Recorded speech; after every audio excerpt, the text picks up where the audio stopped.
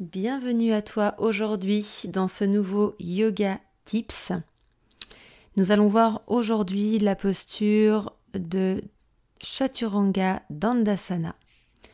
Tu auras besoin de deux briques aujourd'hui pour cette euh, pratique, cette courte pratique.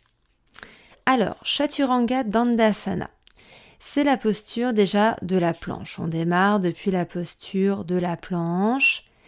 Ici, tu dois avoir les deux mains bien à plat au sol, les doigts bien écartés, les index parallèles à la longueur de ton tapis.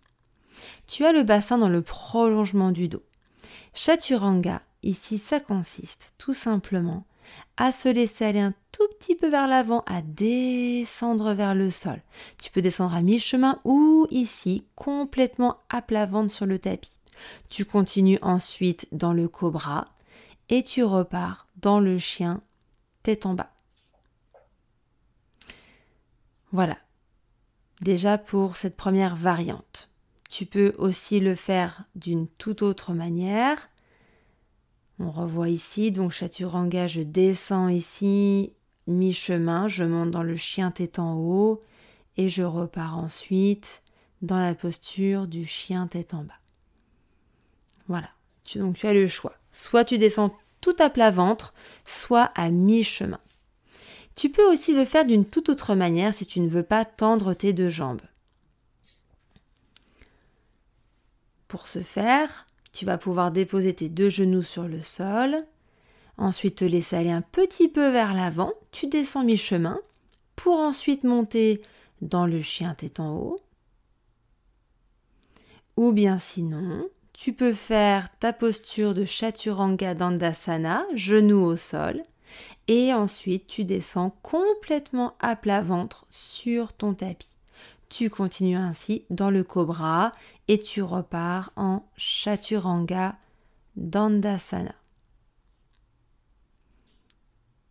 Donc ici, tu vas pouvoir essayer Chaturanga avec deux briques.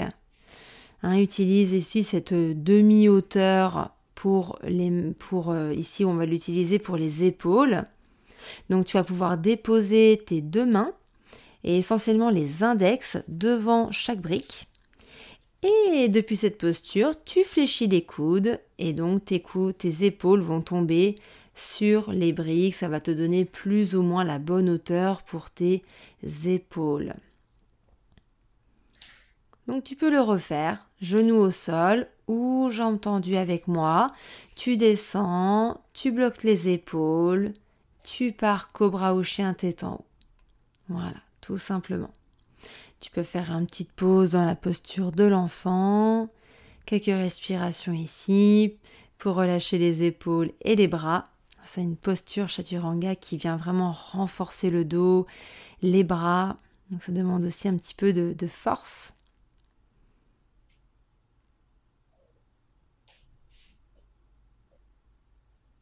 Donc tu l'as compris ici, les coudes sont collés aux côtes flottantes. Réessaye un petit peu avec moi, si tu as les coudes qui partent vers les extérieurs, ce n'est pas bon. Ici, il faut vraiment quand tu descends que tes coudes soient collés à la taille de chaque côté. Donc sens-toi libre de le faire plusieurs fois avec moi ici, à descendre. Voilà, les épaules sont normalement à la même hauteur que les coudes.